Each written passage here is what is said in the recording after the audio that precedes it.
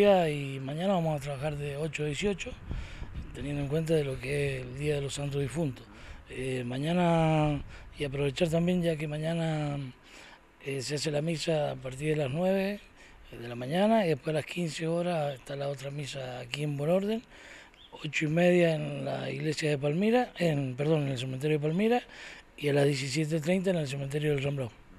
Bien, eh, decíamos dos días especiales donde se espera mucha afluencia de gente, generalmente, ¿no? Como sucede siempre. Sí, sí, hoy día estamos eh, tranquilos, pensamos que podía venir mucho más gente, pero tener en cuenta que es día entre semana, quizás en la tarde sea más el movimiento. Bien, eh, se está trabajando, se continúa trabajando aquí en lo que es limpieza y demás, ¿no? Justamente, no solamente a ver por esta fecha especial, sino que obviamente son trabajos de todos los días. Sí, sí, sí, y también, también por la fecha especial preparar y agradecer, como siempre siempre digo, a, lo que es Raúl Tamañone, que siempre nos da una mano, también Mariano Guiñazú con la, con la gente de la cooperativa, que nos han dado una mano muy importante para tener el cementerio en las condiciones que se encuentra hoy por hoy.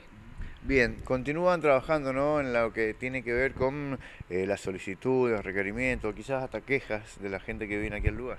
Sí, sí, eso sí, eso eh, se han presentado notas para ver si podemos continuar haciendo los trabajos para darle mayor seguridad. Ya se terminó la pared que se estaba haciendo, que era algo que queríamos, se colocaron luces, eh, se está trabajando y se están haciendo cosas para que la gente día a día venga y vea que se está haciendo cosas y bueno, ahora también hemos presentado una nota para ver si podemos trabajar firme con lo que es el cementerio de Ramblón para brindarle también mayor seguridad.